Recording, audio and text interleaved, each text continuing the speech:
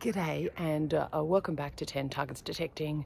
My name is Camille and this is the channel where you get dizzy spinning around, but it's also the channel where I try and find 10 good targets every video. I'm on private land today. I have permission to be here before this 1930s house is knocked down and uh, developed. That's right, I've got this long grass to contend with out the back, a little bit shorter out the front, which is good. Um, one thing about these sort of sites is it's there's a lot of rubbish I can just see with my eyes. But also, um, the long grass is a challenge, isn't it? So I've brought both the M11 and the M8 coils today. You often find a variety of things from trash to treasure, old and new. Uh, I've got lines up here, no doubt that will interfere. Um, but I'm excited to get into it. It's a beautiful day. Look at this, not cold at all. And uh, let's uh, see what we can find together. The first thing I'm going to show you is when I turn, turn my detector on, I'm getting this craziness, right? So what are you guys going to do about it, right? If, you, if you're not sure, you, we're going to go into our settings. We're going to start with our recovery speed way too high. Let's start putting it down. I'm actually going to move from this area as well and see if I can just stabilize. So already just moving us a tiny bit over. We'll get it down. Uh, we're going to do that. We're then going to reduce. Start reducing. Look, check it out. As soon as we start reducing our sensitivity, um, we check our other settings, our recovery speed. I'm going to use a little bit of discrimination to start. Um, we'll go to noise cancel and do a rolling noise cancel until it settles, which it does, and we're ready to go. Pretty quiet enough for me. We get our headphones on, we go find some good stuff. Catch you on the first. First target coming in at a consistent 66, 68, 69. Consistent target ID on the Manticore, not jumping around. Our first coin is actually a modern coin, but it is commemorative. It's a a one dollar coin. It's a commemorative 1999 uh, the International Year of of Older Persons. I've never actually found something like that before. It says a International Year of Older Persons around that rem. Well, that's very interesting. Okay, let's uh, hope we find some other interesting things. Let's go. And just like this, folks, we have our first pre-decimal coin. It's coming in at 80, consistent 88, 89. But when it was in the hole, it's in the plug, but when it was over, it was in the 90s, weird 90. No, I've disturbed it. That's what happens, right? Sometimes when you uh, flick the hole open, oh, it was there. And now it's disturbed. Was there in the plug, here we go. Here we go, it's our first pre-decimal coin. Oh, the detector started again. Um, we have ourselves a pre-decimal coin. It's a kangaroo penny. We can't see in the, sun. Let's turn around this way. There you go. It's our first pre-decimal coin. First of uh, many. Fingers crossed. Let's hope. This one sounds too punchy and too nice to not do together. Nice and stable target ID, isn't it? Just in here. Check it out together. I'll just lift this guy up. What do you think? Bit of copper pipe. Or a second pre-decimal coin. Uh, what's it gonna be? I can't see anything yet. So 92, 93, packet of a padlock. We're still in, we're deeper. I'm just gonna have a little swing just to check what's going on because I'm working dun, dun, that close to the lines. See, we're already out. It throws you a little bit, right? It does throw you. Um, working so close to the lines with your detector, you need to keep noise. I think you need to just, you know, pay attention to your detector. Keep seeing what's going on. Now, I'll pay attention to where the bloody find is. It's right here. Thought it was going to be a ring. It is. What are you? Look, um, I'm not sure. 9293 just could be a bit of stainless steel, or it could be a big fat fingered ring for a giant. Uh, I don't know. I'm going to put that in the pouch. And we'll call this a, a mystery item coming in at uh, low 90s target ID on the Manticore. Looks like a Australia, the map of Australia. Guys, we've got two things. We've got this at the 80s, 90s, and two bits of trash, or two cool things. Could uh, two pre-decimal coins be here together? I'm just going to get this. Look what's happening. Da -da -da. Because I'm still here next to this hole. Um, it's not as, uh, or, oh, there's glass in the hole. What does that tell me? Tells me there's glass in the hole. You can still have treasure with glass in the hole.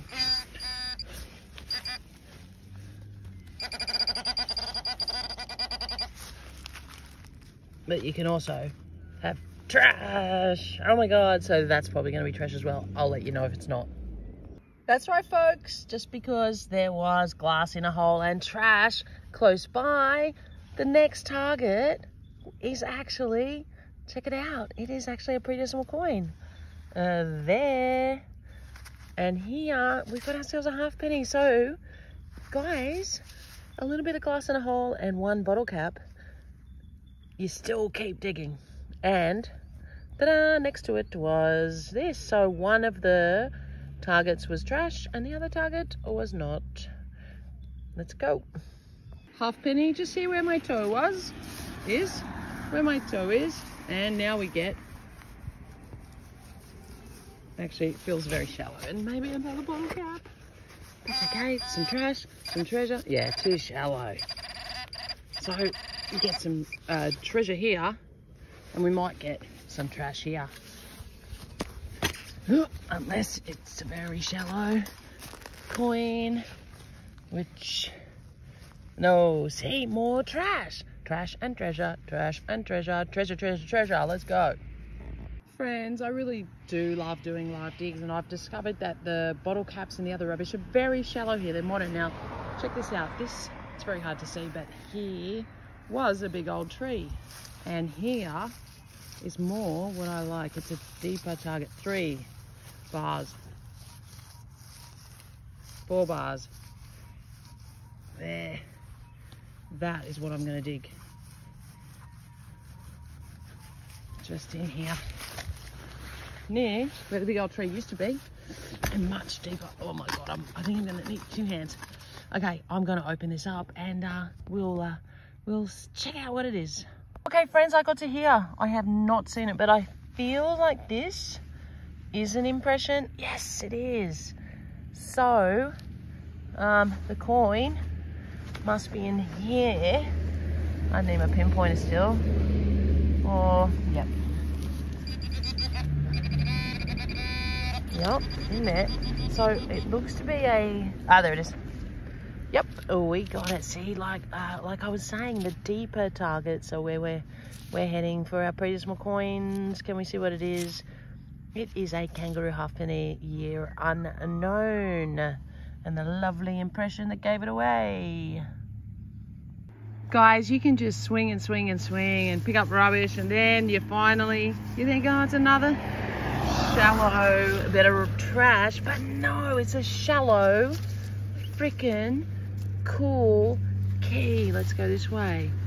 Oh my God, I just love it. It's an old school key. Is there a hole there? I think there's a hole, yes. Oh my God, it's in great condition. Amazing. Okay, perfect. This is what I'm looking for, this sort of stuff. Listen to this, guys. It's a bit clip-clop. Where are you? Here.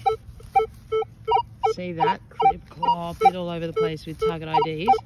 It's trying and the reason I'm showing you is because sometimes I have found, even though that's a sketchy tone and a sketchy target trace on the 2D screen, I found that to be a silver sixpence on a funny angle.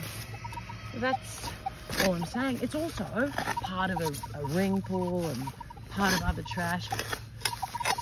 Detectors, oh, and you can see the rust in here. Let's get the that noise off. But just in case it's something cool, deeper. And yeah, come on, Silver. Come on. What do you think, guys? Is it going to be a little silver? Yes! By God, it is. Right? That manticore talks to me. I swear to God, it's my friend. It talks and it says silver sixpence every time it does that. Ah, I love it. I love it. Okay, with my drippy nose, I apologise. Did you see that drip? Oh, it's all classier. Oh gosh, I see some other female detectorists right online and they've got the fanciest nails. And uh, I'm like, how do you detect and not scratch up even when you're wearing gloves? Anyway, let's focus on this. Let's not worry about them. It's a silver 1957 sixpence, our silver coin going into the pouch.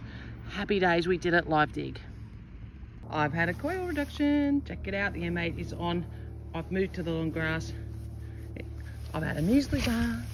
I feel there's like a pep in my step. And now we found another modern coin coming in in the 60s is a $1. Oh my God, it's another commemorative. We started with a $1 commemorative and now we've got another. This is a, oh yes, Father of Federation. 1996. All right, let's uh, let's fingers crossed for something cool. I'm digging any repeatable sort of even a little bit sketchy target and uh, I get some uh, rusty old scissors in the, uh, it was like in the low 50s. Smaller coil is certainly, let's just adjust that, better in the longer grass. Swing high. Um, but you certainly, let's be honest, miss targets. I need my kids here to just trample it. I'm gonna bring my dog to uh, run around in here and just create like a, a little bit of a, um, some pathways and some bits because uh, it's just too long. That's no matter what, like small coil, large coil, you got resistance. Now, what have I not shown you? I've not shown you uh, probably about five ones and two cent pieces. But now we have a toy car. Hallelujah! Something cool. Shows that the family once lived here. Oh my God, I've never found anything. Uh, oh, the wheel dropped off in my uh, hand. Let's have a look. I'm not sure how old it is, but it does look cool. Wash up will tell. I don't want to lose that little rubber wheel. Sometimes when I'm in the mood, I glue wheels back on. It's probably a matchbox. Uh, but I cannot see exactly, but that's okay. We will check it out in the wrap up. What do you find uh, near a toy car? This is as far as I got. I don't know what it is is going to be. It was in the 90s Target ID. And let's get with the shade. What have we got? Okay. Um, these on the back. This is on the front. Um, something like this. All right, people, you're gonna tell me, I know. Oh, oh, it holds a shelf. Oh, it's a little brackety thing. Is it? I think something like that anyway. I love the deeper targets. Okay, I might be losing a good inch just by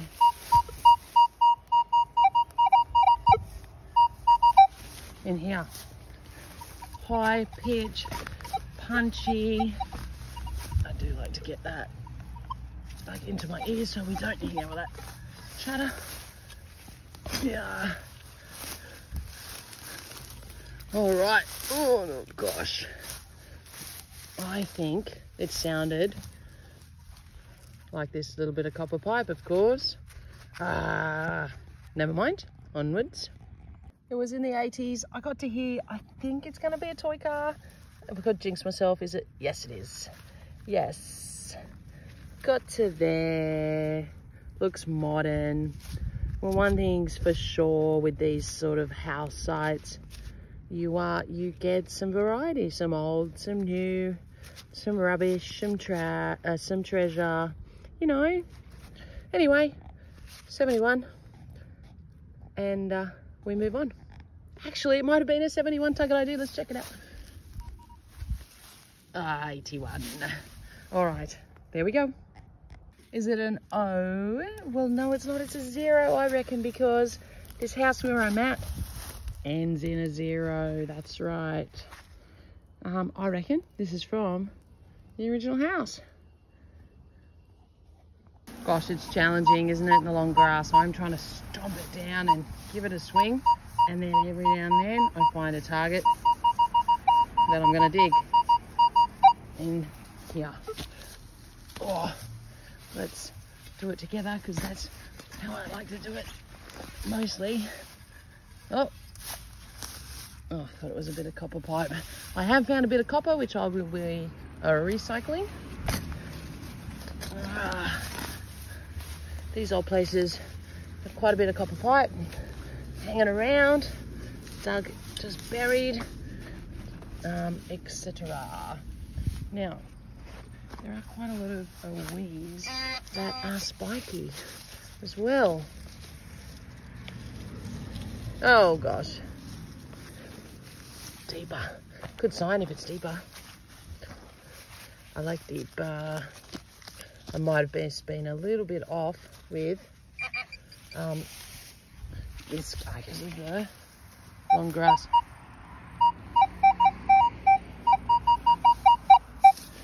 out already. Holy moly. Really? Out or just off?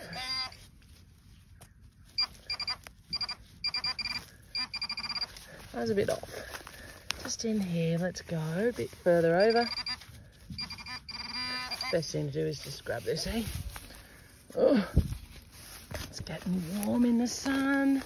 Heart. Oh, it's a coin but it's just a two cent piece. Now I've found a number of these, I just haven't shown you. They are hanging around. All right, we keep on going. Some finds you find without a detector. Look at this little cutie. Oh, she's a broken little angel of beauty. It's a guardian, guardian angel with one wing. Oh, yes. Well, I will pick her up and put her in the pouch. I think she's very cute and sometimes you find things with your eyeballs and not your metal detector. You may notice I have dropped my sensitivity. You just have to if it's just doing your head in with all the chatter. I'm down to 20 and it's as stable as and I'm this close to lines. Look at what I'm working in and I'm able to sniper that. Can we do better than a two cent piece? Probably jinxed it now and it'll be a one cent piece. But you know what? That's okay. Still lovely. I love being in places where there's no people to bother me and it doesn't matter how I dig a hole because it's so unkept. And it's just going to be developed deeper. And off to the side. Sally unless it's in here. And I'm how about I bring you? Sometimes I forget to move the camera right? Let's have a swing. Oh here imagine if it was a really shallow um I was going to say if it was a shallow um, silver but it's not it's a shallow something else and we'll keep this as one of our 10 targets it's cool interesting okay not much further to go. And uh, that's all I can do with the resistance because your detector is not a whippersnipper. You don't go racking it in long grass, right? Okay.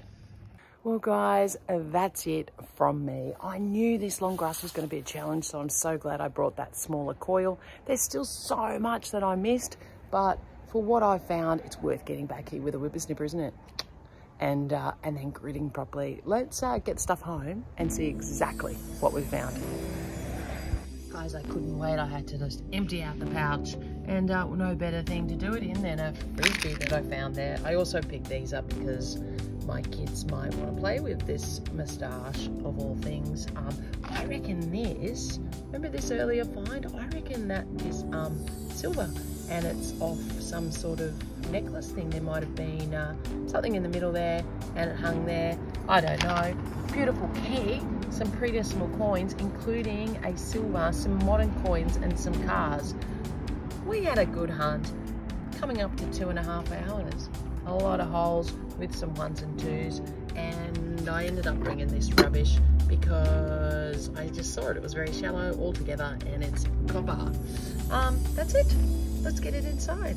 Well, guys, I reckon for the short time I was there, um, this is a really good hunt. It absolutely shows the potential of this place.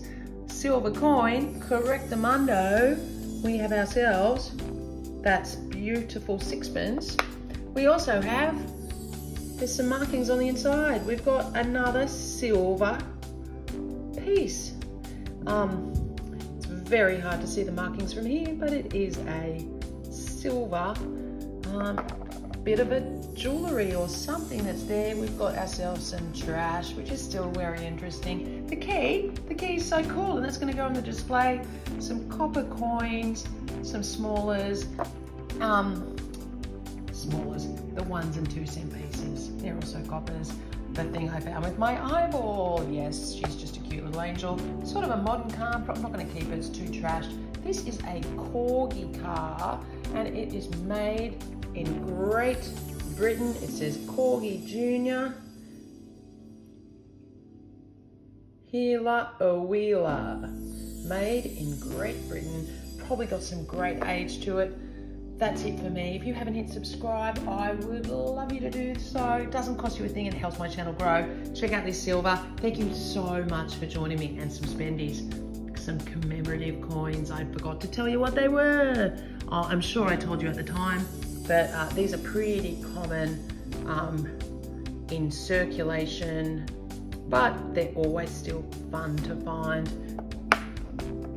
This is the Sir Henry Parkes, who is the father of Federation. That's him there, $1 coin. Thank you again. I'll catch you next time.